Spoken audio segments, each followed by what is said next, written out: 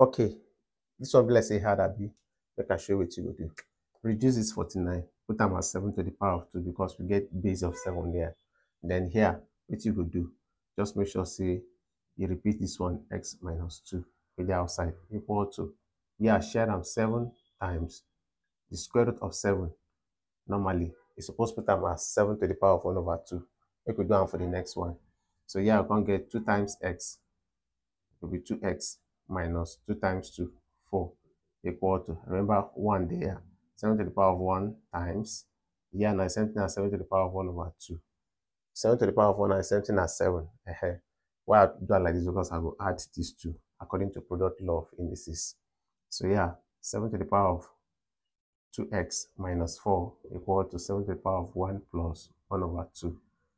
See, um, as a base they equal, what you go do? You go equate the power. So I can get 2x minus 4 equal to 1 plus 1 over 2 will give us 3 over 2. You understand? So yeah, carry this 4, add 4 to both sides.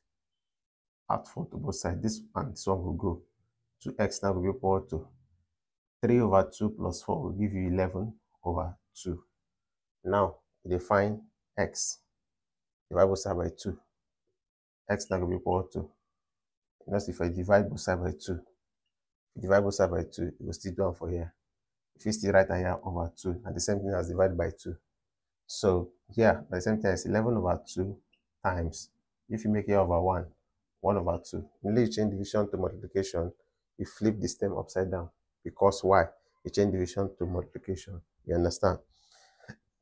For x we equal to 1 times 11 times 1, 11 over 2 times 2, 4.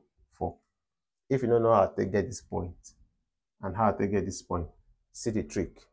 Anytime we see 1 plus 1 over 2, and the same thing as 1 over 1 plus 1 over 2, what, what you will do? 2 times 1, 2. 1 times 1, 1 over 2 times 1, 2. 2 plus 1, 3 over 2. Very simple.